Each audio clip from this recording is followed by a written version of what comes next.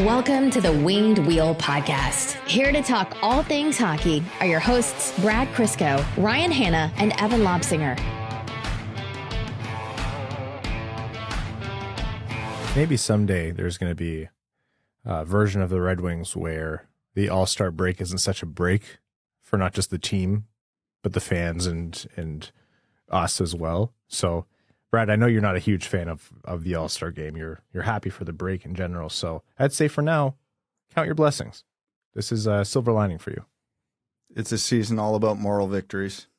and at this point, rapidly approaching only moral victories.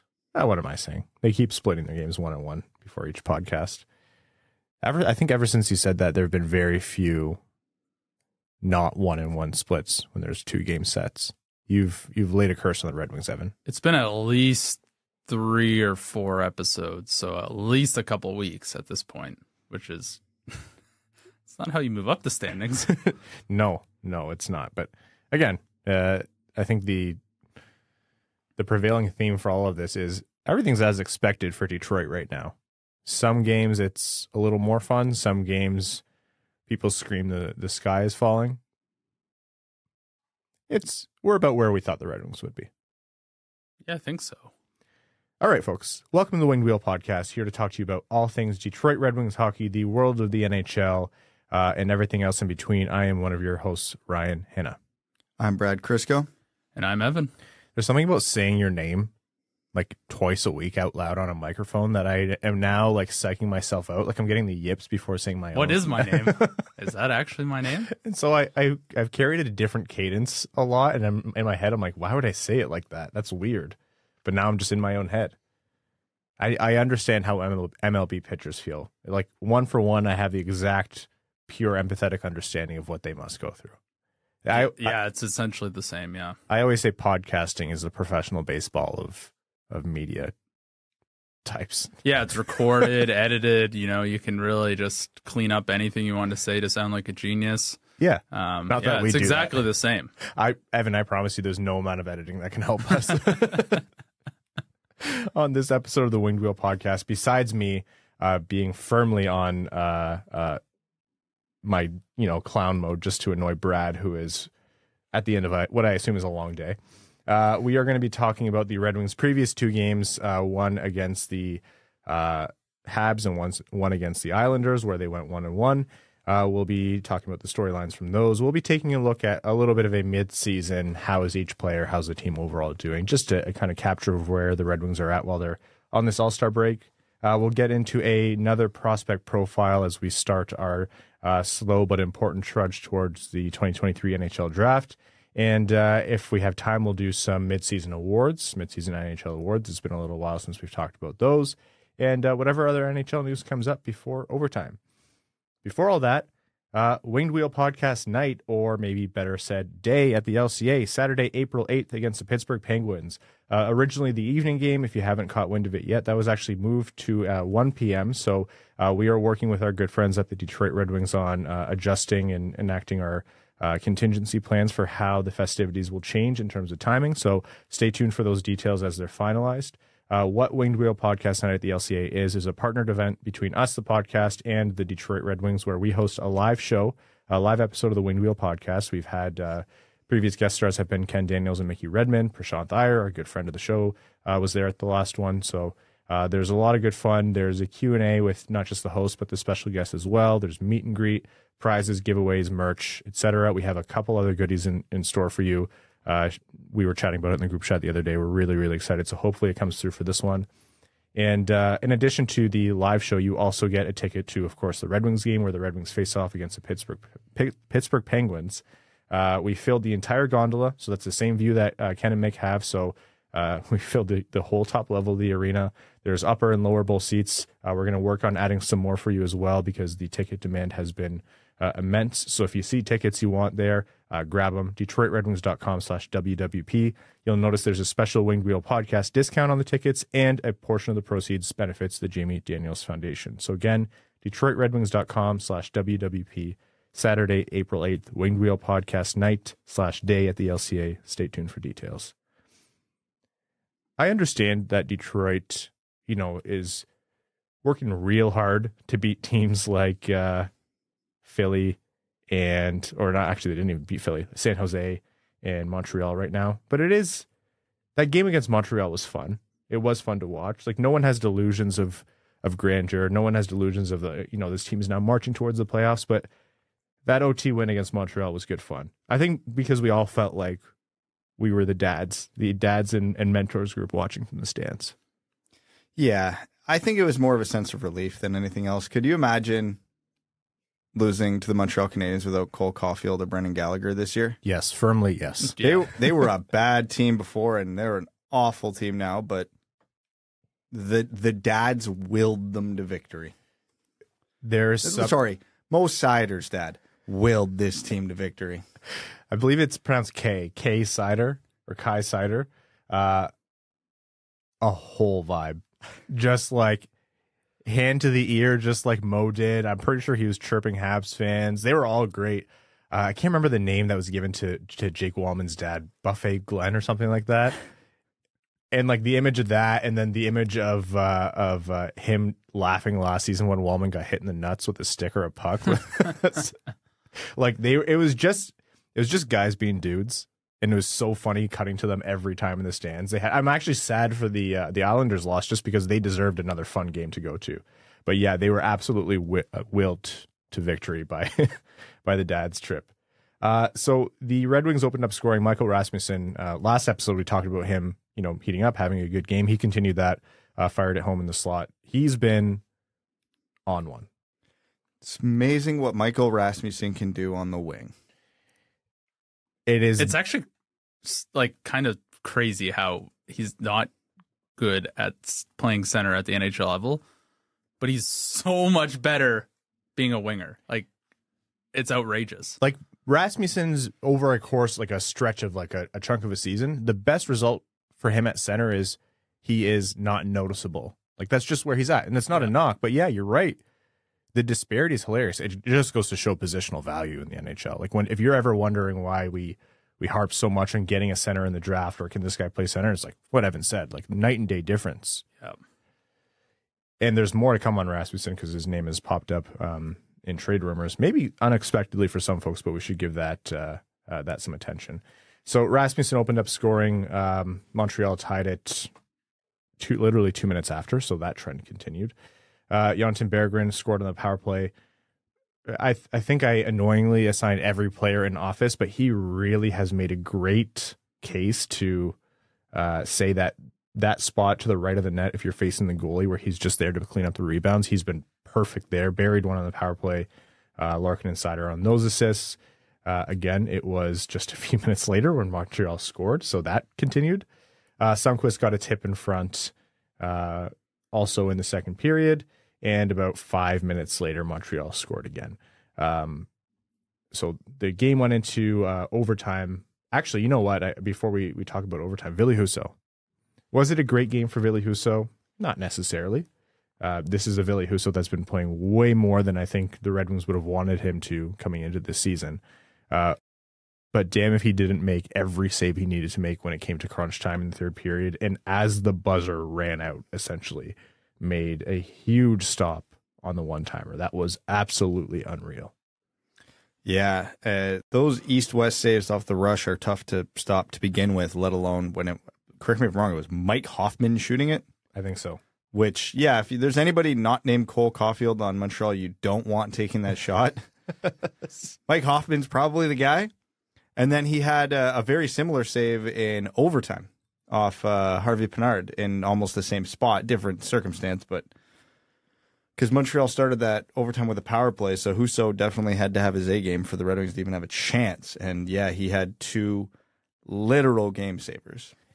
And in overtime, uh, I think just a phenomenal play overall. Seider with a sneaky good pass, just kind of a hold, shoveled it forward lightly, uh, uh, just kind of caught the defenseman off step to Rasmussen, and Rasmussen made a gorgeous play uh, to get it to Fabbri in front, who buried it, and the Red Wings won in overtime. So that's another three assist game from Mo Seider.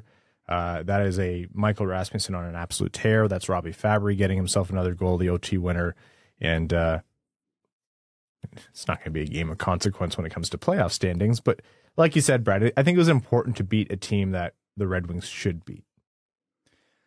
In a season of a lot of lows and many more to come, looking at the Red Wings schedule, you you can't miss these opportunities. A bad team that's very injured. Those have to be W's a hundred out of a hundred times. If you lose to a Ottawa or who's another mediocre team that's not going to make the playoffs but isn't like bad. So if you Florida. yeah, Careful. yeah. But no, if you if you lose to an Ottawa or a team like that, okay, it happens because Detroit's in that tier.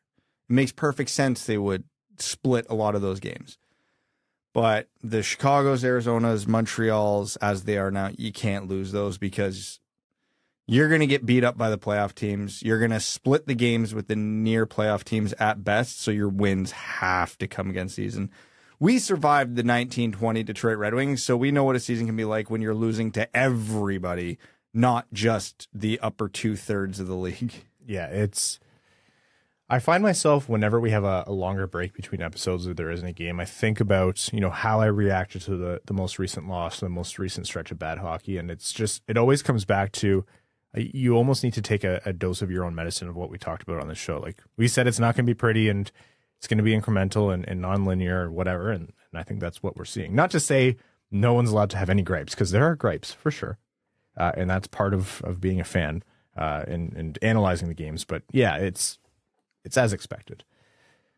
Uh, the Red Wings' next game was the very next night against the New York Islanders. You'd be hard pressed to find a sleepier game this season. It's funny that I say that right as Evan yawns, which is a risk anytime we're recording. It was totally planned. Anytime the sun goes down, uh, but there's almost nothing to say about that game. Uh, I think I was reading in our one group chat that the NHL decided to pick the Red Wings and Islanders for a national primetime game on a Friday night. Yeah, uh, that's what, what like that. If you could handpick two teams in the NHL this year to absolutely minimize entertainment value, I think these are the two you handpick. Because even with Chicago and Arizona and Montreal's, they're just bad enough that there's going to be chaos because of mistakes. Detroit's defense is just good enough to not be in that bottom tier of the NHL in terms of defense. The Islanders are the stingiest defensive team in the league, and neither team can score. Like this went exactly how you would expect. When I saw that the game was ESPN, I thought this is all picked so far in advance, and it, you know, a lot of times it has anything to do with like, uh, you know, they have to pick a certain number of, of games on this in this time zone, or they haven't done this team in a while, or they don't imagine there's going to be a lot of eyes this Friday, so whatever it might be. But yeah, I looked it up and I'm like, wow, the ninth and tenth highest scoring teams, the, or the ninth, ninth and tenth lowest scoring teams in the league, like that's due to be a barn burner. And uh, the game finished two nothing Islanders. Hellberg played well, lost two nothing. That's that. That's the whole game. Yeah, there was probably a, a woo, and that's it. Uh, okay, quickly here. The Vancouver rumors, we're not going to stop talking about them until they don't have any substance to them anymore or something happens. Um, but rather than just rehash what we talked about last episode, something to to note is uh, Michael Rasmussen's name has come up with with regard to what Vancouver might be interested. With Detroit obviously having noted interest in Bo Horvat, there could be interest in other players. Uh, Vancouver has talked a lot. Jim Rutherford has talked a lot about wanting NHL ready players. They don't want to rebuild. They want to retool on the fly. Uh, that sound you heard was Red Wings fans everywhere flinching. Um, but Michael Rasmussen, it's logical in terms of what they're looking for. I mean, handpick a Red Wings player that Jim Rutherford would love on on Detroit. Rasmussen fits that bill. He could be. This could be a very I don't know sell high or uh, depending on what you think of Rasmussen and his projection, this could be a situation where Detroit gets quite a bit for him, or or he's part of a bigger deal. So I'll ask you one question, and all the listeners, before we give our opinion, answer this question honestly, and then you'll probably have your own answer about what you should do if the opportunity presents itself. Do you think what we have seen this season at different points is the absolute best we are going to see from Michael Rasmussen and Filip Hronek. Absolute best from We, Rasmussen. we've seen basically their ceiling. I I disagree on Rasmussen. I agree on Hronek. Okay, so that's a little cloudy for me. I think we've seen the peak on both. So yeah, I'm absolutely selling high on both. Do you sell high for Bo Horvat? Because I know you've had questions about whether Bo Horvat's even the right move. Okay, I got to take the rest of the team building concept out of this Oh, that's just cheating. because. But so if we're saying yeah, okay, we're getting Bo Horvat and we're getting him at we'll say a fairly reasonable Call it eight million. Yeah. Extension? Yes, absolutely. 100 out of 100 times. A legit top two center. Again, you can build the team however you want, but the one thing we've been banging this table for is all year, years, decades. Don't pass up upgrades. Don't. Bo Horvat is light years ahead better than Michael Rasmussen. Bo Horvat is light years better than Filip Hronek. If they don't trade Michael Rasmussen, I'm happy. I love his progression. I think he's trending to be a really good middle six winger in the NHL, and the Red Wings are going to need really good middle six wingers in the NHL. You know what's better than a middle six winger in the NHL? A top two centerman. Do you know what's better than a second pairing right D in the NHL? A top two centerman. Now, the Red Wings would probably still have to add in this trade, and then you can get into the details of it. But I, I think what we're seeing from right now, what we're seeing from Rasmussen right now is is the best we're going to see from Michael Rasmussen. And that's fine. He's like 23 years old. It's about the time players start leveling off. I feel like Hronek, we've seen the best of him this year. It might have even been a bit of an aberration. He might not be that. So, yeah.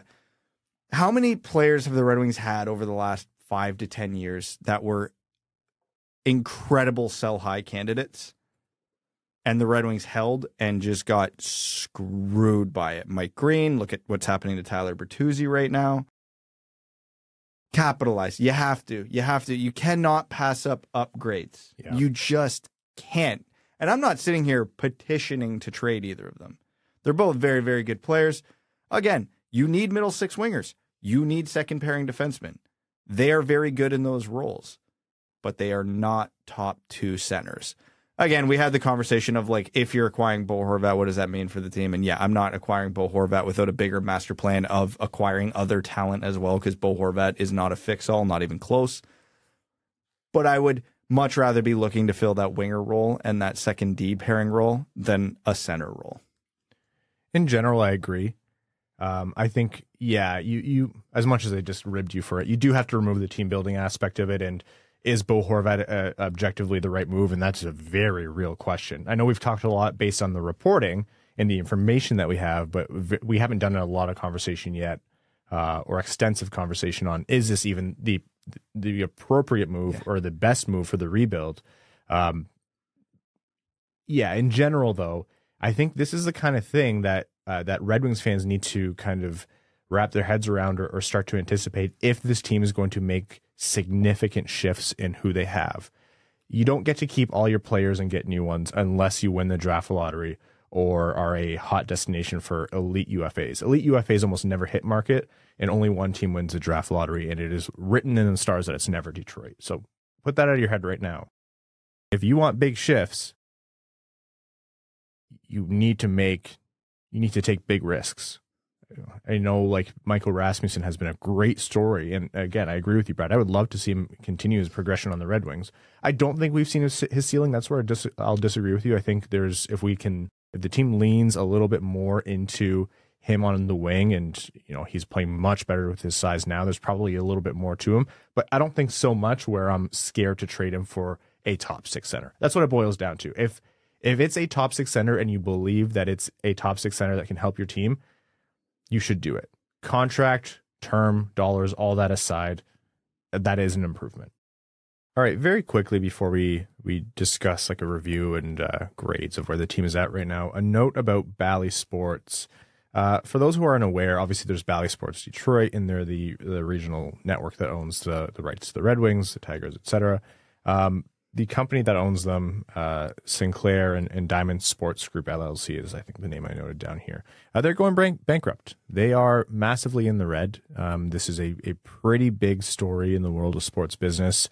Uh, they, I think, there's a dozen or so regions across uh, uh, America that where they hold the rights to local teams. Uh, the Kings, the Red Wings, the Lightning, Stars, Blues, Wild, Predators, Ducks, Hurricanes, Blue Jackets, Panthers, and Coyotes. So quite a bit. Uh, there's this is going to have a ripple effect in a lot of ways uh, in the NHL. Uh, some people have talked about the opportunity of, you know, is the NHL going to try to pick up broadcasting rights? Are individual teams going to try to pick up individual broadcasting rights or just do it all in house? Is another company going to step in? Um, there are a lot of question marks. Uh, so obviously, this is going to be an on, ongoing story as it unfolds. Uh, I think first and foremost, of course, a lot of good friends at Bally Sports Detroit. So uh, we think of them, and, and this kind of uh, uncertainty is, is never pleasant. So we hope everything uh, goes well on that front. But uh, something to monitor because it has impacts not just for Detroit, but the NHL as well. Like we're talking about missed payments in a big way for a league that is trying to scrap every dollar that they lost during the pandemic together. And if you're thinking, well, I don't care what millionaires or billionaires make, no, you shouldn't. But uh, it's going to affect the salary cap in the end. TV if, rights are sort of the bloodline of professional sports. TV, so it's a big deal. Yeah, TV rights, gate, like those are the kinds of things that move the needle in a big way. So if you're talking tens of millions or hundreds of millions in, in missed payments or payments less than what you had anticipated on your balance sheet at the start of the year, then you're going to start talking about mm, is the cap going to go up by as much as we thought? Or yeah, because everyone always says, oh, there's a, a new media rights deal coming in next year, so the cap's likely to go up or whatever. So this uh, definitely adds a layer of uncertainty, though, to, yeah. to that conversation. Two things, again, like what I said, I hope everyone uh, who works uh, at, at Bally Sports, Bally Sports Detroit, like everyone is taken care of, and and of course, um, it all goes well on that front. And two, I hope for the consumer that anytime there's a shift, in my mind, I view it as an opportunity to just make this thing simpler let us just click one website, log in, watch the game. I don't care where they're playing. I don't care if they're home or away. I don't care what time. I don't care whatever. Let us pay for one thing, watch one thing, no matter where you are in the world. That's all I want. I have five bucks right now. We can start right here. I have ten in my wallet. Okay, we're at fifteen. That's ten more than I usually have in cash. I cash. probably have some belly button lint too, actually. Oh, is it's no good since the pandemic it's started because everyone has belly. You can heat your home. you can heat your home with that if you get enough. Jeez, is your shower dusty? Like what's going on? I don't know. that's a that's an over a Patreon exclusive conversation. yeah. uh, okay, a quick look at the Red Wings and where they're at. Let's call it mid season. This is what I was talking about earlier when I I said I I sit and think about where the Red Wings are at and I have to remind myself that we said this is to be expected. 48 games in, Detroit is 21, 19, and 8 with a 521 uh, points percentage. Uh, that is good for about 85 points, which is, you know, as much as it seemed doom and gloom getting here, uh, essentially where we've been at is a, a a lot more highs at the start of the season, and the lows have kind of brought us back down to, to earth. So the Red Wings sitting at about an 85 point pace mark. You might think they end up a little bit lower based on recent play, but overall thoughts initially on where we're at midseason? yeah, that's a tough one. Like, first of all, I can't remember that far back, so uh, my six brain cells are, working overtime right now. Oh, where'd you get an extra one? You know, I, I borrowed some. You know, I read a couple. I read a couple paragraphs this week, so well, that's why you were sweating when you walked in today. that's right. That's right. Um, the Red Wings, you know, they started off really hot. There was all the hope and promise that, you know, bringing these guys in, that we raise the floor, this team would be in the battle a lot longer, um, and they'd be playing some meaningful hockey into later into the season, maybe into March. Um, so, you know, if I look at this season compared to basically all the other ones in recent years, I'd say this one's going a lot better. I mean, there's a lot of key pieces that have been out essentially the entire season, which yeah. totally ruined everything uh, in terms of expectation or, or, lightly, yeah. or, or hope that this team could maybe make the playoffs.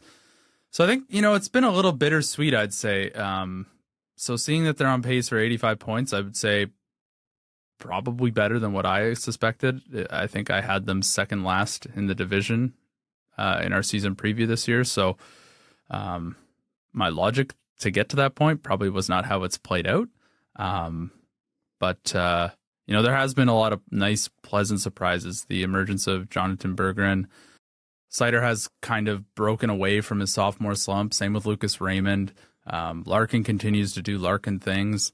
Um, so I think there's been a lot of good this season. You know, just the the key pillars to this team just kind of evaporated on them with Vrana and Bertuzzi. Like we totally expect both those guys to be huge contributors this season, and it, it just didn't happen. So it, there's definitely been some really high points. Uh, there's definitely been a lot of lows, but I think last year we were probably into the into our eighth prospect profile at this point. Oh, And God. the fact that we've done one so far as of this moment um, speaks volumes. So um, it's really hard to be doom and gloom. I know we are a lot, but you know when you look at the whole season in retrospect, like right now it hasn't been all that bad. Like there's a lot of nice things to look forward to. So as Evan steps out because um, he's been summoned to trial for something in some foreign country, um, uh, it's on you and I, Brad, to to bring the balance that Evan brings to the show. I agree with Evan overall. I, I in general the the main points of this season is on balance as expected. Uh, there are a lot of really positives positive things to kind of draw on when you talk about is has this been a success? I think seeing Seider and Raymond go through the paces of of what sophomores go through in the NHL uh, and pull their way out of it. Like Seider's been phenomenal. Raymond's been really great since uh, well, uh, I think 2023. Really, he's really kind of found his game again. Uh, that's all good. Larkin has been stellar. That's all great. Uh, you're seeing a Hronek emerge. You're seeing a Rasmussen emerge that we haven't seen before. Fantastic. And I've said it before, and I'll say it again. It cannot be overstated how much the Bertuzzi and Vrana situations are an absolute anchor on the outlook of what this season could have been for the Red Wings, both in terms of team performance and team building. And that's where that's the source of my doom and gloom. Someone messaged me the other day and says, I really think you guys are overdoing how, you know, gray and, and how, you know, sorrowful you are about the out, outlook of this team. And, and we don't try to be anything other than genuine. And I think a, a big source of that doom and gloom for me has been, yeah, the Bertuzzi and Vrana situations. Because right now with Bertuzzi, it's yet another case of, in all likelihood, unless something changes, another premier potential trade asset for the Red Wings going away, just evaporating to the point where we don't even know if it's a good idea to re-sign this guy long term because we don't know if he will have seasons like he has in the past. And with Vrana, it's a hope and a prayer at this point if he can find his way back on the team. Again, it's not impossible. We've talked about it on previous episodes. There is a path back. Goals have a way of fixing everything, um, but there's way more to that than just uh, that whole situation than just hockey. And there was a big hockey aspect too because Vrana was way off kilter in terms of his game. That's a drag. The Red Wings don't have a guaranteed lottery win. They didn't get Jack Hughes. They did. They didn't win uh, other lotteries that that changed things around for them. Yes, obviously they made the most in a big, big, big way with um, uh, with Seider and Raymond. Of course, you can't have asked for better in terms of where they were drafting uh, than those two. But look at the other teams around Detroit. Like we're talking about, Yzerman is interested in Bo Horvat. Yeah, I agree. That's an improvement. We were talking the other day. How good is a Larkin Bo, Larkin Horvat one two center punch compared to the other teams in the Atlantic? Uh, Spoiler: they're not at the top. I think at best, best fourth to sixth, depending on how other teams progress. Like it is going to be exceptionally difficult for Detroit to make the leaps that they can that they need to make in the coming years. Um, and the Vrana and Bertuzzi situations have been just such an anchor on that. So, team outlook, that's where to me it's still very cloudy. I'm not ready to throw in the towel. There's still so much to come, and, and again, it is all still trending up. Team performance this year, yeah, you remove the the noise. I think this is about where they should be. Yeah, it, it's hard to really get a good feel for where the Red Wings should be right now because of the Bertuzzi and Vrana situations. Uh, the biggest gripe we've had with this team is they can't score. This team just has to scratch and claw and punch and kick for every goal. They don't get any easy goals. And, you know, we weren't expecting Vrana or Bertuzzi to win the Rocket Richard this year, but if they both played 82 games, I think combined the floor for them would have should have been 50 goals. Yes. So the Red Wings have lost almost 50 goals this year because Bertuzzi couldn't stay healthy, and obviously there's the Vrana situation. So even though we've been pretty doom and gloom on the season, mostly because lately everything's felt very, honestly, familiar. Like this, this last stretch of hockey over the past, you know, we'll call it six weeks, feels a lot like a lot of stretches of hockey over the last three, four seasons. And my gut reaction is always to go, holy hell, how is that acceptable when this team was expecting to take a huge step forward this year? Not huge, but like at least a very noticeable step forward this year. And they really haven't. Because you sit here and you go, oh, well, they added Kubalik and Perron and Maatta and Copp and Chiarot, although Chiarot's been a drag on the team more than a help, but whatever if if you just want to focus on forwards, they added Perron, Copp, Kubalik. This team should have been a lot better and, and been able to manufacture a lot more offense. But the reality of this season is they didn't add Copp, Kubalik, and Perron. They replaced Bertuzzi and Vrana with Copp, Kubalik, and Perron. And I don't think anybody would have penciled them in for 50 plus goals this year as a trio. Mm-mm. That would have been both best case scenario. So when you factor that in, yeah, this is about where they should be. Now, the big regression in Bertuzzi's game with injuries and everything, and same with Vrana, doesn't really piss me off this season. Like, honestly, it's probably for the best because the Red Wings are going to end up with another top 10 pick and they're going to get a much needed piece for the future. I'd rather this team pick eighth overall than have missed the playoffs by one point with the way everything has shaken down this year, which wasn't what I wanted at the beginning of the year, but given the circumstances, it's the best outcome. I agree fully, and I was I have the same shift in mind, and, and Bertuzzi and Vrana changed that. Yeah, and and it, it can't be understated because those were two guys we were both sitting here at the beginning of the year. These guys could each score thirty plus goals this year. They Vrana scores at that pace. Bertuzzi has scored thirty before, but I think Bertuzzi scored thirty last year. It it could and should have happened. Oh well. But what this has also done, losing two top six level players, has amplified our concerns and really highlighted the glaring weakness and the glaring hole this team has going forward. And I know people have like you mentioned, reached out and said, guys, you guys are, I understand the pessimism, but maybe you're going a little overboard. And there's one key piece of context that I think we've left out of all those conversations. Do I think the Red Wings on the trajectory they are right now, without getting a top five pick, without signing a David Pastrnak in the offseason, probably without even getting a Bo Horvat? In three to five years, do I see them making the playoffs? Yeah. Yeah. Probably every year. I, I think Larkin's good enough. I expect Marco Kasper to be good enough. Edvinsson, Seider, Raymond. I expect the core, the young core of this team, to be good enough to have the Red Wings perennially perennially in the playoffs, which we haven't really mentioned. And I, I think that is very much in the range of possibility.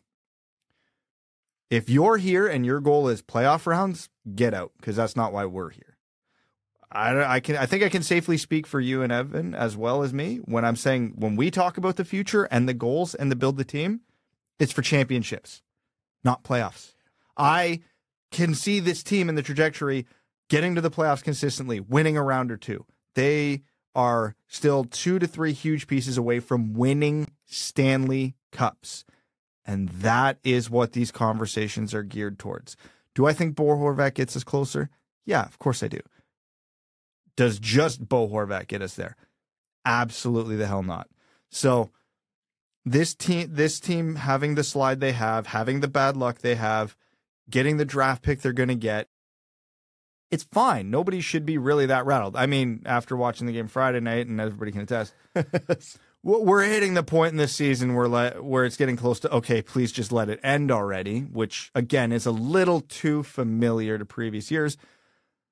But when you peel back all the circumstances, yeah, yeah, it's not. It's it. The sky isn't falling like it has been in previous seasons. The, the hard thing is, it's no Red Wings fan is just watching the season going, "Oh man, I don't care at all what happens in the future." The whole shtick with the Red Wings, the whole point of watching the Red Wings right now is for the future. The the whole point of the Red Wings, as long as we've been doing this podcast, which we're getting close to eight years now, over 600 episodes, has been the future of the Red Wings. What is the next version of the Red Wings that we're going to see that's going to compete for cups?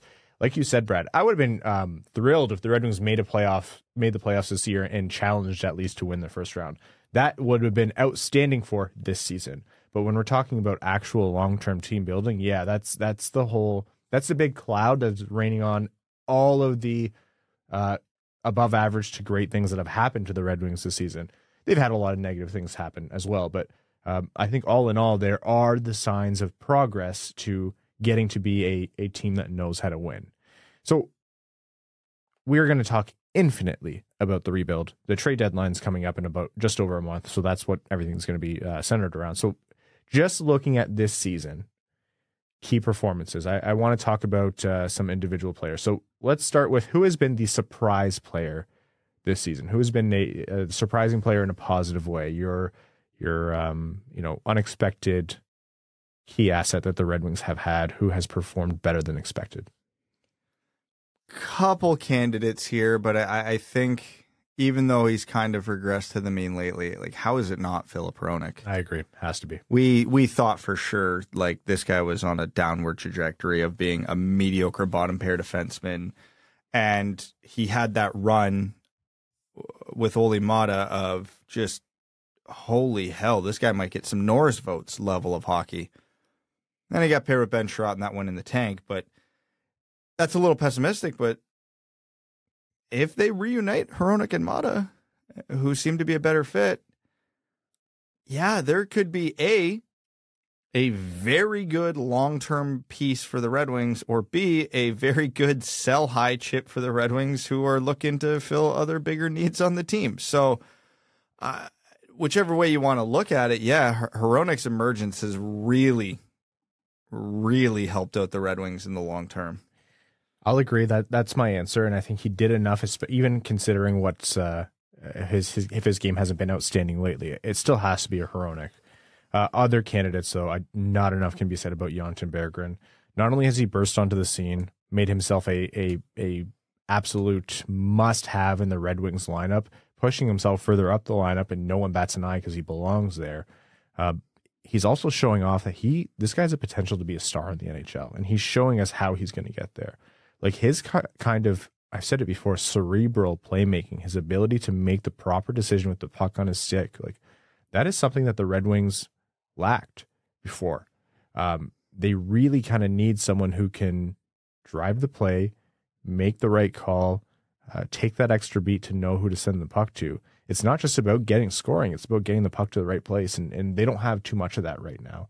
So having Berggren up there on the wing, we talk a lot about the Red Wings are not set at wing, but relative to center, they're much better off. And, and Berggren has kind of burst on the scene, and for him to do that and make it stick right there first go in the NHL. Not enough can be said about that. Love his game. Credit as well to Michael Rasmussen and what he's done in terms of continuing his progression too. Flip side of things. Hold on, you're not you're not skating past this one without mentioning Jake, Jake Walman. Walman. Yeah. Come on now. I actually there's an argument to be made he could be even the second, like the runner up for that trophy. You could make the argument he could be the winner of that trophy. Yeah, his I'm almost I almost don't even want to talk about it too much because they need to sign him to a contract. And I I honestly truly believe like he is you lock him down, uh you lock him down now, give him some term. Like that's the risk you take to keep the dollars low or lower. Um but he has been outstanding. How much of that is he's playing with Seider and just Chiarot really wasn't a good fit with Seider, and how much of that is Walman's game? I'm sure there's a little bit of that. Like playing with Seider will generally elevate you, uh, but I've really loved Walman's game since he, he's had very few bad games or very not so many bad moments defensively, and he's just been outstanding in terms of what he's brought to the defense. Um, a lot of this is relative, though, and which brings me to the next point: disappointing players. Because it's not just blind optimism here. Let's be real. Uh, there have been no shortage of disappointing storylines on the season. Let's exclude Jakub Vrana for obvious reasons. Uh, anyone else, fair game who is your most disappointing player on the Red Wings at this kind of halfway mark? I I really, really want to say Tyler Bertuzzi, but I'm gonna give Tyler the benefit of the doubt when you deal with three separate injuries in a year. two of them being broken hands. Yeah, it, it would feel wrong to dump on him uh, coming off a 30 goal year. So I'll give him a pass uh, uh, for this award, and then I'm just gonna smash the button for uh, Ben Chiarot on this one. He's been bad, and I think because of the contract, a lot of Red Wings fans don't want to. They're trying to justify it. You Yep. know what I mean? Like, okay, yeah, but it's a lot of those.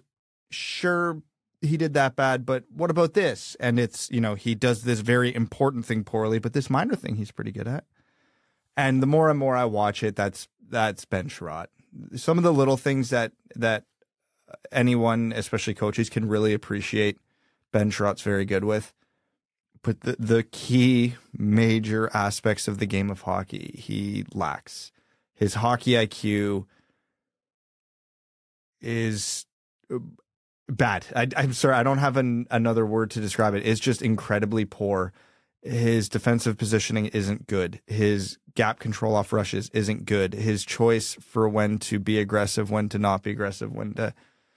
It's, not there. And the crazy thing is, he was advertised as this defensive guy who doesn't bring much offensively. And I really liked his offensive game. he is super aggressive in the offensive zone and he makes things happen. And then the second the puck leaves the O zone, he is a significant net negative to this team. He, you saw what happened with Mo Seider when he was his pairing. Then he took, they finally, finally took him off Mo's pairing and put him with Filip Hronek, which immediately put a halt to Filip Hronek's heater. I'm sorry, that's not, that can't fully be a coincidence. And then you look at, pick any stat, any analytic you want. Ben Chiarot's near the bottom of the league. It's, it's a, only a four by four contract, but he's a guy, and I think it was Dom's model saying that Ben Chiarot makes four million dollars a year, and he's overpaid by almost five million dollars a year. He owes he owes money. He he is, I think, by what what's league minimum seven fifty? Yeah. So he's overpaid by four point two five. Here's the thing: watching Ben Chiarot is like watching someone sit at the blackjack table and just say "hit me," no matter what they say "hit me," or they shove all in on every hand of poker.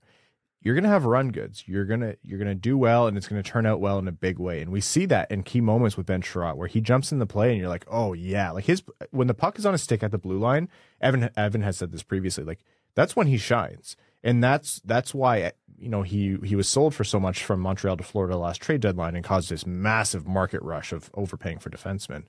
Uh, I understand that.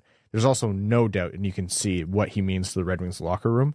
Uh, you know, Perron on offense, Chiarot on defense. Like he he's brought in for more than just the on ice play.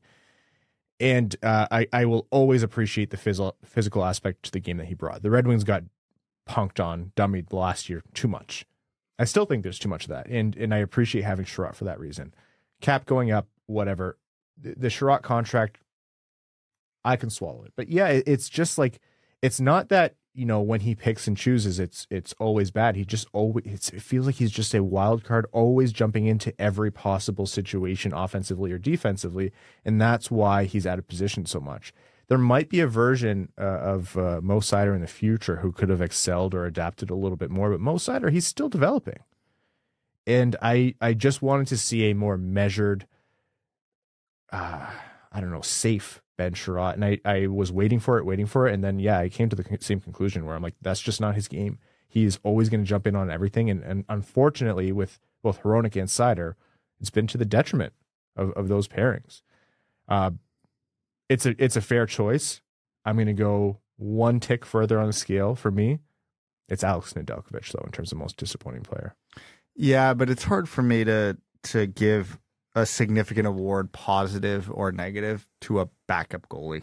No, but he, He was. I, I understand he was expected to come in, and, and him and Husso were going to have like a one A one B, right? Yeah, and and it very quickly did not turn into that. Um, so that it, it's totally fair. I just kind of the the significance to the team, the impact on the team, the wh- what we're expecting of a player was kind of what pushed me more towards Which really killed me too, uh, for the record, because a player with like a hyper aggressive go go go attitude, I deeply respect.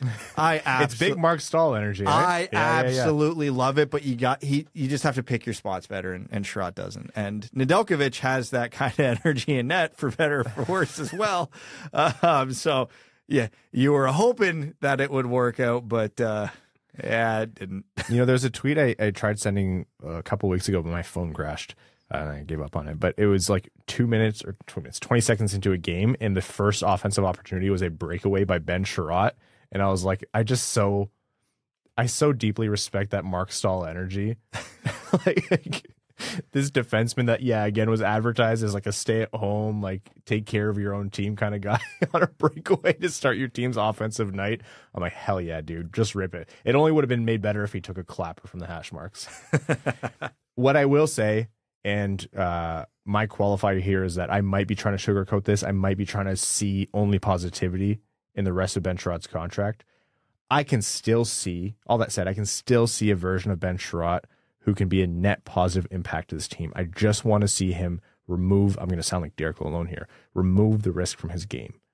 I want to see him play a safer game, and I want to see him pick his spots better. Because, yeah, he can be effective, especially in the offensive zone, um, but he doesn't always have to be below the other team's red line. And just focus on the simple positioning that, frankly, his teammates need. Filip Hronek has never excelled in that area. Mo Seider is still very much learning in that area and makes mistakes. They need him to lean on his veteran experience to be better. Can he?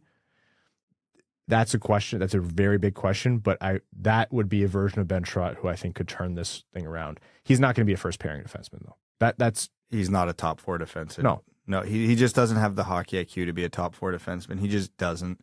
Could he be a, a super effective bottom pair guy? Absolutely. Do you love p- paying a bottom pair guy four million dollars? No, absolutely not, not. no. But you have to maximize him for whatever he is. However, you have to do that. And again, the way he plays, the mindset, ah, I love it. I love it. But you have to you have to call your shots better than he's been doing it. And because like if you want to look at what Ben Chiarot's best case scenario, he's he's a good in the offensive zone with a big shot who loves to step up for the big hit, but just really struggles with timing and positioning. If Ben Chiarot's best case scenario right now, and I know it's in he's in his thirties and he's not changing, but is Dion Phaneuf realistically? Uh, I know nobody loves to hear that, but that's pissed that off a lot of people. I, I that pisses me off, man. You think I'm happy about it? it's a double Dion. But they are very, very similar players. So uh, Dion Phaneuf got nominated for a Norris, so there is a recipe here for this to go well. Do I think that's happening in his 30s? No. I'm just saying we've we've seen the recipe for it to work before. All right, If we just ignore the the Leaf era. very quickly, MVP and runner up. Oh man. That is I'll go first. I'm going to say Dylan Larkin has been start to finish good for this team. He's yeah. Yeah, it has to be. Even on his off nights, he's still producing. Uh, other players have had peaks that maybe have been a little higher, uh, but they've also had valleys too. And Larkin's been, I think, the only reliable constant, even with Ville Husso, I think, up there for a lot of the season with him. I think Husso's been overplayed, so he's now, for better or worse, regressed down to the mean. Uh, but it's got to be Larkin for me. Every player that's played with him has been elevated and has at some point excelled. He's carried his line. It's a contract year, of course. He's playing for the biggest, you know, payout of his life. Uh, but we've not seen anything other than this from Dylan Larkin, I think, for the past few years. It's got to be Larks. Larkin's easy one here. The runner up, I am struggling because I could pick three guys based on like two to four week samples, but looking at the whole season, nobody's really separated. You want to give it to Husso because, well, God, that guy deserves it for what the team's put him through. You want to give it to Hronek because he's the best story. Seider's probably been the best player on the team for the last two to three weeks. You know, Raymond's had a hell of a heater lately too. He seems to be getting back. I I could hear an argument for any of them.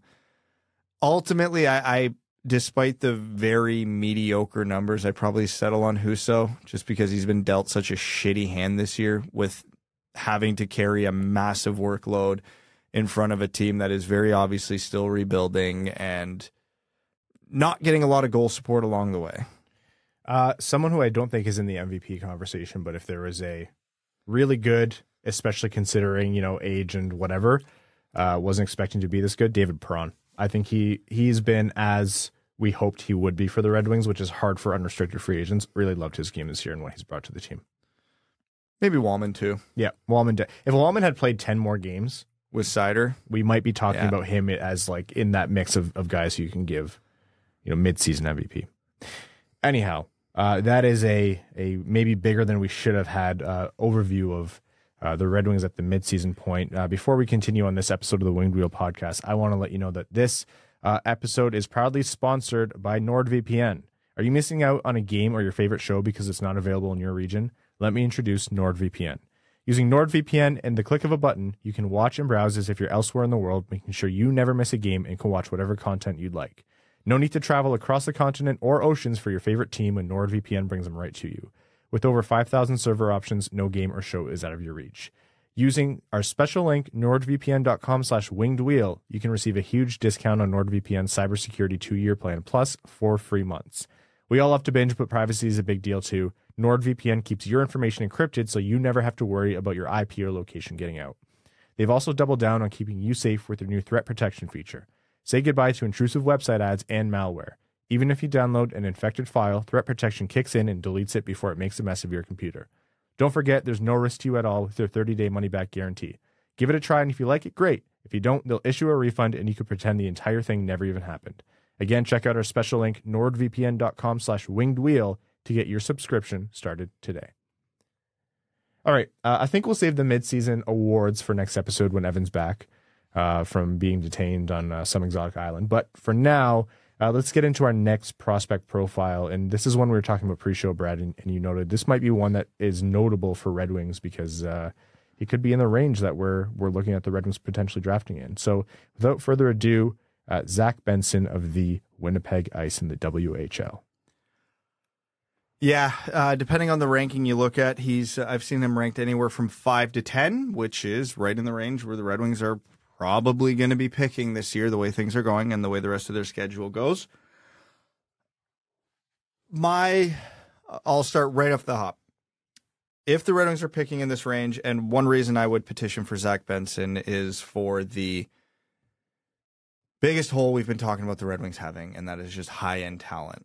Is Zach Benson going to be that in the NHL? I don't know. Maybe, maybe not. But he's one of the guys in this range that could be. He has that natural offensive gift that you just can't teach. He's a good, not great skater. Um, when you couple it with his size being only five nine, a lot of people will look at that as a net negative. But he's an, he's an okay skater. Uh, five nine can play has played center and wing, probably a winger in the NHL. Which again, who cares what position the Red Wings are picking at right now? They just need to get talent. Um, great playmaker, hyper competitive, just and just hyper hyper competitive.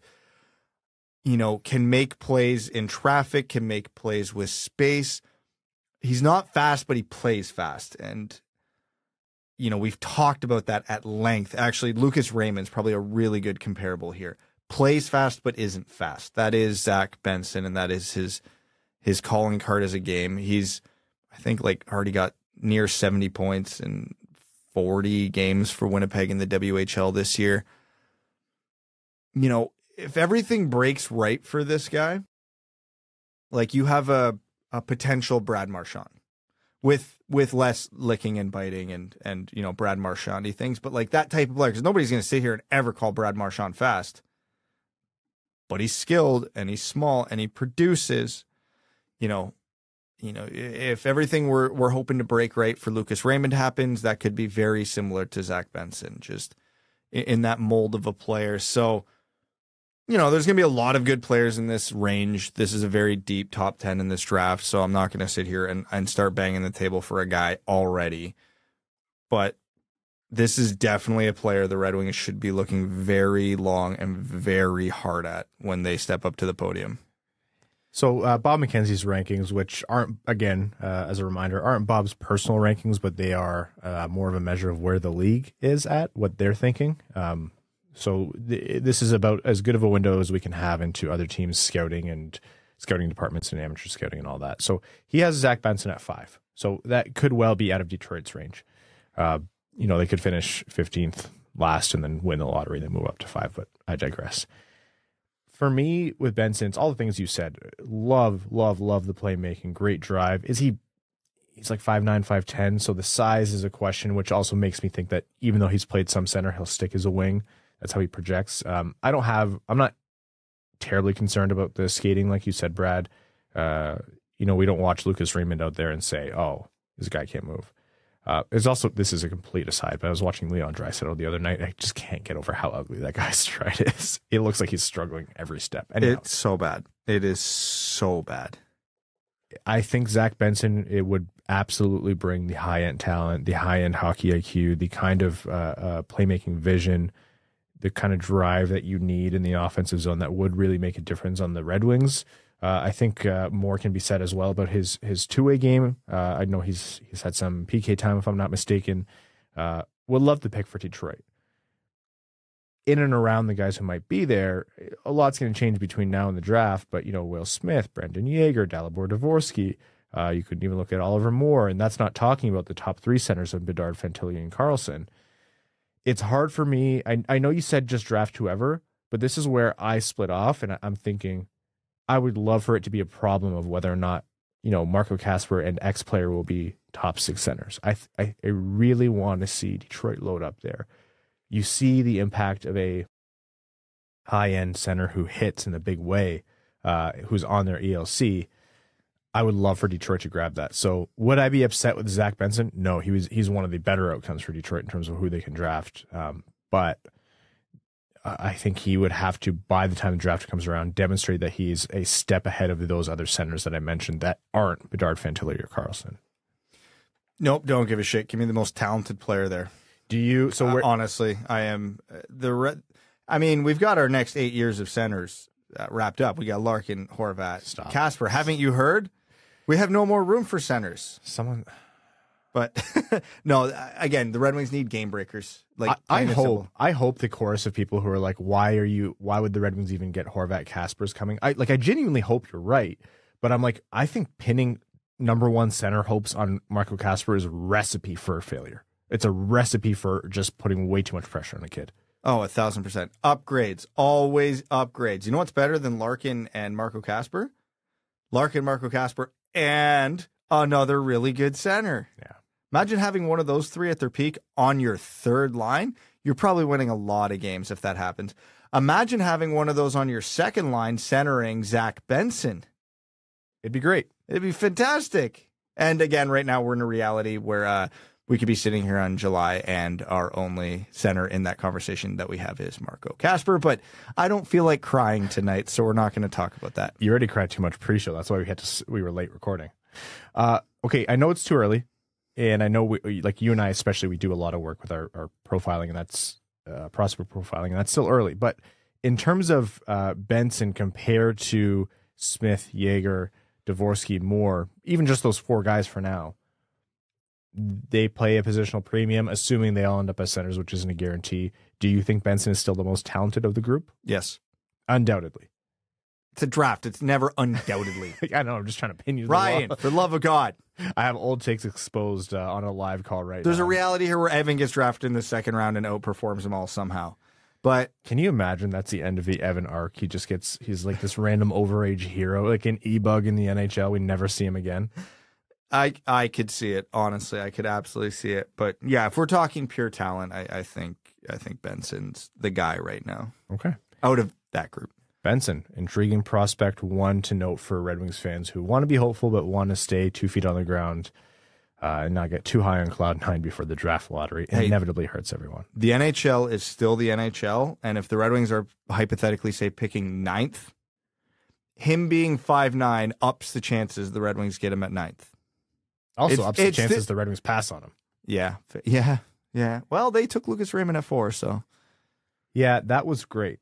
That was like Not that any of the other drafts weren't, but that was one where you're like, it would kill me to see Raymond slip past, considering you know Stützle went, and obviously the petitioning I did for that guy for a, over a calendar year. If he was there and we didn't take him, I would have probably handled it with as much grace and professionalism as I can, but I would have been dying inside. All right. Uh, we are going to jump into the overtime segment on this episode of the Winged Wheel Podcast, which is proudly brought to you by our Patreon supporters. Patreon.com slash Winged Wheel Podcast. If you want to sh- support the show, uh, this show only happens because of our patrons. Uh, you get access to the Winged Wheel Podcast Discord. You get automatically entered into all of our giveaways. Uh, we're giving away two tickets to every Detroit Red Wings home game this season. The majority of those going to Patreon supporters.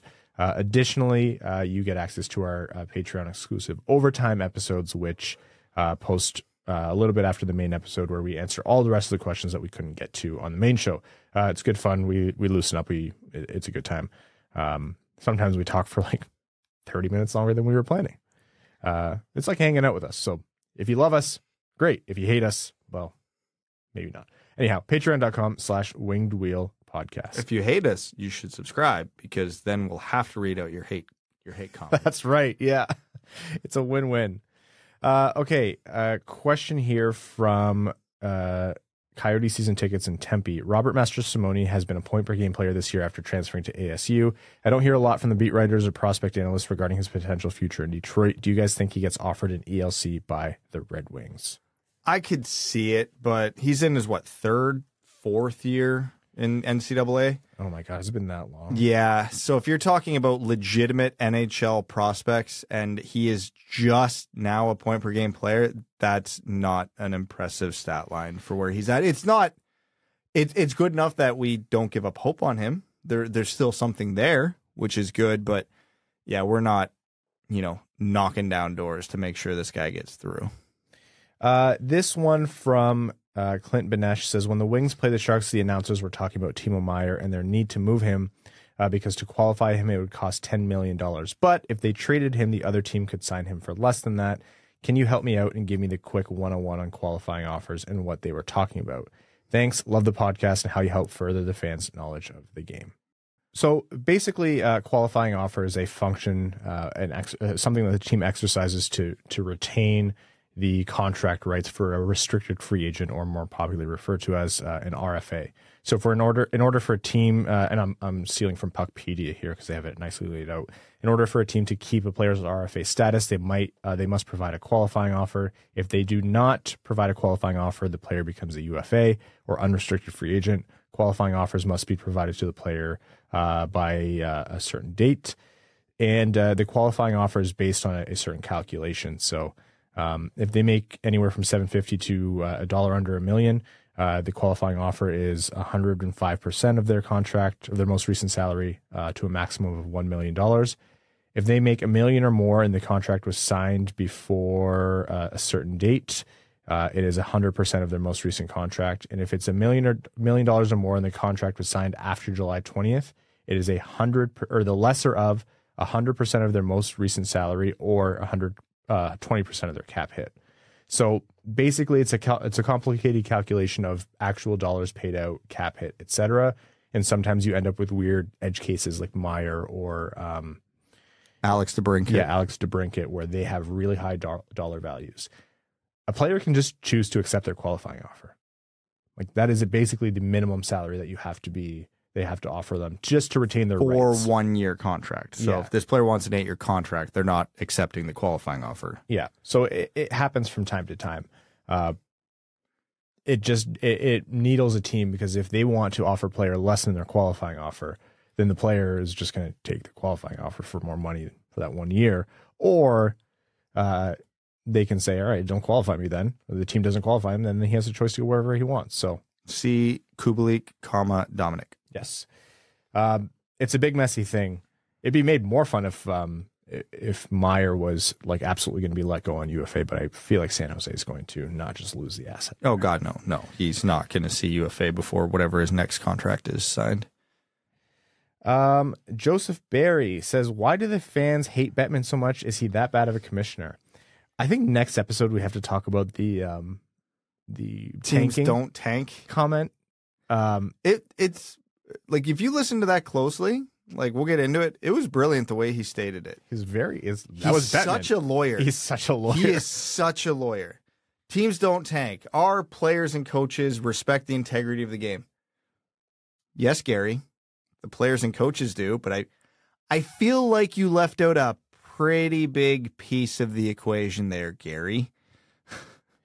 Uh, I think you know what Gary Bettman represents the owners, and at the end of the day, that's why he's hated. Uh, generally, the owners are there to maximize profit. The part of the game that the fans love are the players and the teams, and you know the players make up the team as far as they know. Uh, the owners have a naturally antagonistic relationship with the players, especially as the uh, NHL business side of things has been me- so messy over the last like 25 years. And Gary Bettman is pa- paid to be the face of that. I at times am just like Gary, damn it, like so, some things he does I really disagree with as a fan, and sometimes I begrudgingly, begrudgingly or not have to say I respect the job he's done. I don't think anyone is wrong in this scenario. I think it's I I think it's the fans' hockey god given duty to boo Gary Bettman at the Stanley Cup ceremony. But I also I understand and sometimes even agree with a lot of things that Gary Bettman does that aren't necessarily necessarily popular. The simplest reason I would say he's as unpopular as he is, you know, you you can needle like Ryan said some of the smaller, dumber stuff he's done, and you can understand when the lawyer uh, in him comes out and he you understand he said something dumb like the anti-tanking thing, like teams don't tank. But when you boil it down to why he said that, well, of course he had to. Um, but the big reason he's unpopular, he's the face of three lockouts.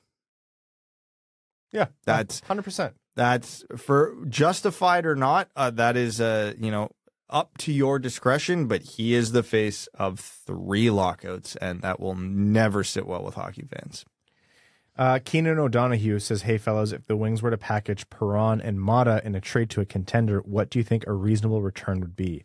I'm thinking a first round pick in this year's draft plus something else. They would be a great pickup for a team who's serious for the cup. Thanks, guys.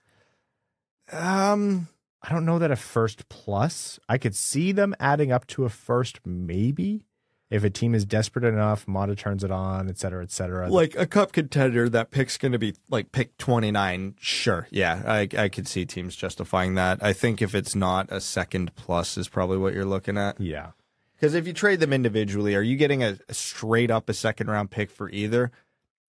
Probably not. Maybe for Perron, because obviously he's played well and he's got a good rep. I don't think, despite how well Maatta's played, I don't think his reputation has come up that much yet. So, yeah, you're on you're on the fringes of maybe a first round pick. Uh, Wildcat Dallas Drake says, I ordered tickets for Winged Wheel podcast night slash day at the LCA in April, bringing my 14 year old son and two of his friends on the eight hour drive uh, from the UP. Uh, that's amazing. We're pumped to see you all. Uh, none of them are big hockey fans, but I'm aiming to change that. Oh, it will change that. Also, I'm hoping you can help that. Uh, your podcast reinvigorated my love for the sport. Maybe it'll get them going too. A Red Wings win would be good, but I'm keeping my expectations for the post trade season low. That is wonderful news. Thank you for the support. Thanks for bringing the the, the kids. That's awesome. We'd love to see them there. And uh, yeah, hopefully we can move the needle on them a little bit. If Yeah. not, we'll bravo. Maybe that that game could, in theory, be like uh, Bo Horvat's first hat trick as a Red Wing. oh my God. Yeah, we're going to see post trade deadline Red Wings. We might see. We might see Bo Horvat, or we might see one of the worst stretches of hockey we've seen in a long time. Uh, Connor Dukes says crazy rule change question. You get a penalty shot when illegally stopped while uh, on a clear breakaway. Why can't we get an artificial two on one, two forwards at center ice, one defender behind the blue line, plus the goalie when there's a penalty clearly stopping on a two on one? I love the chaos of it, which means uh, the NHL will never do it. Ah, But then you get into the gray area of what clearly defines a two on one. I'm too much of a traditionalist. Yeah, I, I think that's way too messy. In ter- we we already have a lot of questions on what is a clear cut breakaway. I want way more penalty shots than we've seen. I think that's too many. I don't know. Yeah, that's too clunky for me. I do like the, I do appreciate the chaos. It's very Marc Staal of you, but yeah, yeah. Um, all right, let's take uh, a couple other questions here. Lars Thorzel says, "Okay, lads, a development question. As you undoubtedly remember, many of us We're a bit worried to put promising players in the Red Wings team because it was just a brutal team with a coach who didn't put too much value in young players. I reckon we've seen a paradigm shift there with the new coach and the emergence of young players who are simply too good to have in the AHL. Now, however, uh, we've, as I see it, uh, landed in another problem. We have players in Grand Rapids that are extremely important to the future of the Red Wings, young players who are stuck playing for a god awful team who is obviously going nowhere fast.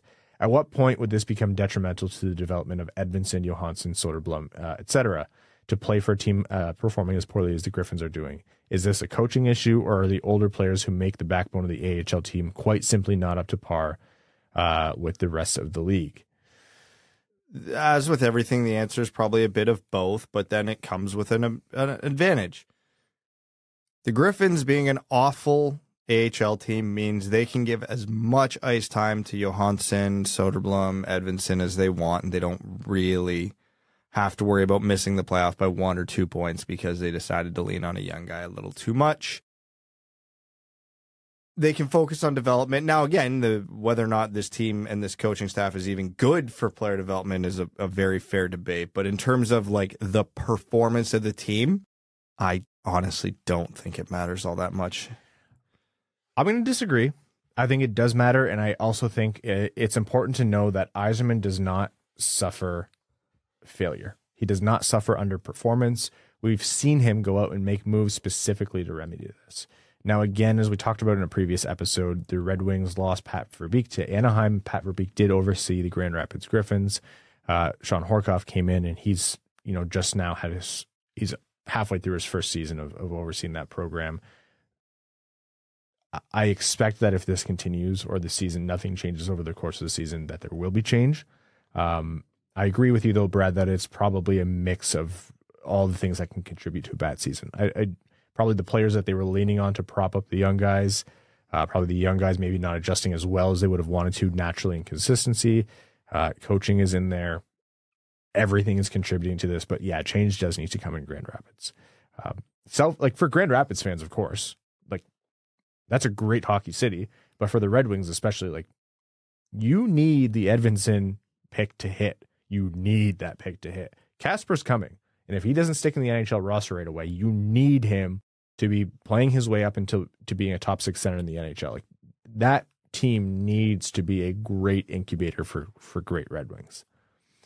All right, time for some Reddit questions. Uh, background Junket thirty five says, "Which of our prospects do you think is having the best year? Has anyone been particularly surprising?" I'll jump on the second part of that. William Wallinder, fantastic year. And we've seen this coming from a little ways away, uh, but I think he's had a fantastic year. He has a great argument for being the Red, Red Wings' best performing prospect this season, uh, if at least up there. Uh, really good story in terms of if you look at picks in the uh, early to middle rounds. You know, you look at someone like Tuomisto and you're like, ah, that's not what you wanted it to be, at least so far. But Wallinder has been I thought really great so far. Yeah, the the Red Wings' best prospect uh, has definitely been uh, the kid in Rögle. Um, yep, that one, the one you're thinking of, that's absolutely the one. Um, biggest surprise, Marco Kasper is the other Rögle player that Brad's referring to. Uh, yes, there's that one. Yes, yes. Um, surprise. Well, it depends what you define as surprise is anybody surprised Carter Mazur's having a great year? No. Are some people surprised he's having this great a year? Yeah, you could you could make that argument. Uh, Shai Buium's having just staying in Denver. It's like two programs are single handedly feeding the Red Wings' future. Um, Shai Buium's had a quietly really good year. Um, so I don't know. Sur- surprising is a tough one on this, just because Amadeus Lombardi. That was the next one I was going to. Yeah. Again, I think we were all expecting a good season, but maybe not this good. Yeah. So th- those are probably my three candidates. Um, Let's Kill Time also asked about Grand Rapids. I just want to acknowledge that. And then I think one additional question there that says, uh, is midseason firing of coaches not allowed in this organization? I just, I, I think for a team that's not in a big rush, Yzerman and Horcoff are both going to want to be measured about this and see the season through. Um, it's definitely worth paying attention to, and I wouldn't be surprised if, based on performances so far, it did happen. But it, there, Yzerman just doesn't strike me as the type. Uh, he wouldn't have wanted to fire Blashill if he couldn't help it. Um, particular Waltz two nine four says, "Happy Sunday, gentlemen. I was wondering if Cossa can string together some good performances the rest of the year in Toledo. Could we possibly see him take the starting role in Grand Rapids next year? It's certainly a possibility. Honestly, this uh, this might be an unpopular opinion, and it might be a little too ex- extreme, but he better. He's a first round pick. You look at what other guys drafted in his range at their ages versus where they are now in their progression. If Cossa's not there next year, he's already severely behind the the standard set by Wallstedt, Askarov, etc. in recent years. So it's if he's not, it's not the end of the world, and there's still time to go. But for because don't forget, he was drafted as an overager. He already started a year ahead or behind, however you want to phrase it, of some of the other guys draft goalies drafted in his range. Um, you know, between Knight and Askarov, etc.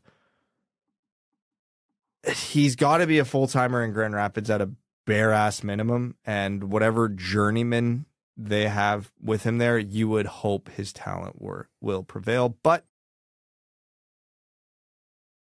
with Grand Rapids the way they are, is that even the best thing for him? It, it's there's so many moving parts right now, and with goalies, so many variables. But if he's not at least challenging for it next year, I, I think the red flags at least are are starting to appear.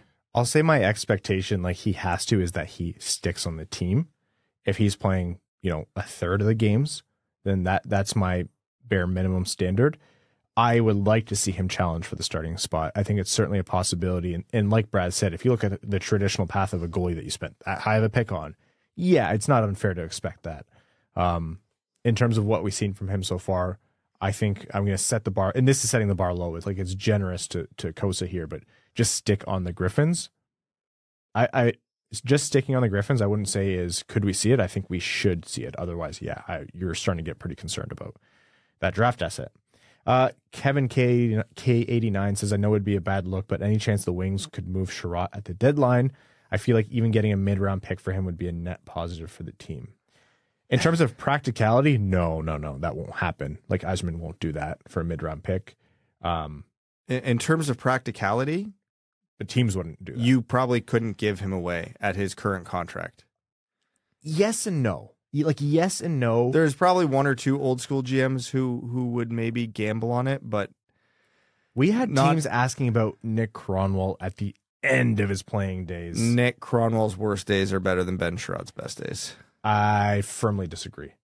Like Uh, Nick Kronwall at the end's worst days were not better than Chiarot's best days right now. They were pretty close. They were maybe closer than were- you'd want to admit. They were pretty close. Uh, ben, ben Chiarot's contract in reality is probably unmovable. It's a little bit of an albatross right now. You'd Yeah. have to retain. Then again, I mean, the irony here is that this whole flurry of overpayment was set off by overpaying for Ben Chiarot, but we have seen a, a run of overpayment on defensemen. So if you, if a team needs a third pair defenseman, and we're down to like the last couple of years of Chiarot's contract, and the Red Wings have played him in such a way where he's sheltered or at least neutral. You're Steve Yzerman. You get on the phone and say, "Hey, yeah, I know Ben Chiarot's numbers haven't been great, but he plays on these Detroit Red Wings. He'll be much better on your Toronto Maple Leafs, New York Rangers, Colorado Avalanche, whoever. Uh, you, I could see him moving in that scenario. Are you going to see Ben Chiarot traded for first round pick plus like in the past? God, no, no, no, no, no. But that's not what this person was asking. But just for the hypothetical, You're not getting a mid round pick for him. You're not. you'd have to retain. You would have to retain. Yeah. You're you're honestly better off just seeing out the contract at that point. Well, anyhow, why don't we wrap up this episode of the Winged Wheel podcast? We're going to record our Patreon exclusive, uh, and also Brad and I get nervous when it's just us in the room and uh, Evan's not here. We uh, we don't exactly like each other for legal reasons. That's a joke. Do not radio me on Twitter. I am kidding. Brad is my friend. I wish him a Merry Christmas every year. And that is And the- a happy birthday occasionally. some years. Damn it. I will never. You have no idea. The only thing I look forward to on my birthday every year now is I stare at the clock and I wait for it to hit November 5th, just hoping and praying that you don't text me. When Have I, your- ever made it to like 10 a.m.? No, you're always. and I shouldn't be surprised. That's how your brain works. Like, uh, someone's like, uh, "Oh, you know, what does Brad know? Like, what's his specialty in hockey?" I'm like, he doesn't forget anything. he doesn't forget anything, like at all. And that, like, obviously, your I, I think your prospect analysis is outstanding. Um, I trust your opinion more than most other people in the hockey world when it comes to prospects. But it's only amplified by the fact that you don't freaking forget anything ever. It makes me mad. As someone who You're especially screwed now because I got three birthdays to remember on the same within a Ah, five day such- stretch of yours. it's such bullshit. I've got a I've got direct birthdays now on November first, fourth, and fifth. It makes me so angry, dude. Yeah, so now I get a reminder three days before yours because I've got another birthday. Maybe you just need like a really bad concussion or something. Your best case scenario is like I wake up on one November fourth morning and like Mika and Hank are are sick, shitting and throwing up everywhere. I never leave the bathroom. My phone's soaked in like some ungodly fluid in the corner of the room that I don't want to touch. That's your only that's your only hope. Which in my house is a very real possibility. Yeah, you- you're suffering two toddlers or two kids right now. One of them a toddler. And a puppy. Yes. How's she doing? Oh, she is great. She's a really, really good puppy. You guys deserved any, a, a good. We dog. got we got lucky with her. that's good. When she can meet Abby, when she's got like how long? until She's she's been around to another dog Abby size already. Oh, good. Oh yeah, she pissed it right off. No, Yeah. A- Abby's in. Um, she loves other dogs. She will play, but she's very much has grumpy old lady energy where she like will play, but when she wants to stop, she's like, "Hey, I'm relaxing right now. F off." Yeah, they uh, it was my sister in law's dog, and he's got grumpy old dog, old man attitude too. And yeah, he he had enough of rocks after like forty seconds. Just like, all right, that was fun. You can go away now. Um, and then uh, of course rocks didn't. No, so she got a couple don't. got a couple warning shots. Yes. All right, uh, we're gonna bring this over to the Patreon exclusive, folks. Thank you so much for tuning in. Uh, again, the midseason awards that discussion will come in the future, uh, or in a future episode. We have some uh, good interviews coming up. We hope you enjoyed the last episode's interview with Elmer Soderblom. Uh, we'd like to thank our sponsors, NordVPN, who have been great to work with, all of our listeners, new and old, our name level supporters on Patreon. Our good friend Arjun Shanker, Yves Bartels on behalf of the Sarah Foundation, all the way out in Luxembourg.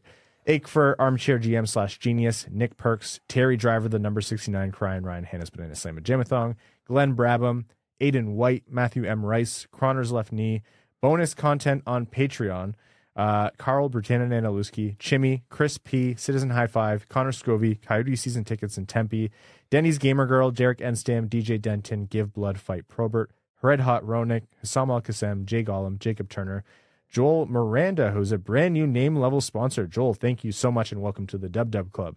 Joseph Barry, Kalen Wood, Kevin James, King Tone, Las Ensaladas Picantes, Marcus, Massive, Massive Wong, Evan Long Saber. yeah, that's a reference to the last blooper reel. Matt McKay, Michael Edlin, Nedeljkovic, goalie number one, Nicholas Fritz, R.A., Ryan Hubbard, Scott Martin, Send It Seawolf. That's what I appreciates about you. Venom, Zachary Rogers, General Andy Bohan of the Cheesebag Army, Sam Bankson, number one Detroit Red Guys fan, Antonio Gracias, Babe Landeskog, Ben Barron, proud member of the Jake Walman Gritty Club, Brad Simmons, Brian Vasha, Carl Thames, Connor Layton, and Darren Fick, Philip Zadiz Nuts, Grand Rapids Hockey Guy, Griffey Boy, Heronix Handlebar. I can't tell if this next name is dirty or not. James Laporte, Reed. Uh, Jeremiah Dobo, JM Rhapsody, John Evans, John Engels, Josh Yelton, Kevin McCracken, Quaz, Lieutenant Matt S. of the Cheesebag Army, Linda Hull, Maximilian, Melissa Erickson, Ricky Bong Rips, Servo, and uh, Steven, brand new name level sponsor, and the Hodag. Oh, sorry, and my and finally my favorite patron, Matt Keeler. Clever, Matt. All right, thank you all so much. Take care, and we will catch you on Wednesday.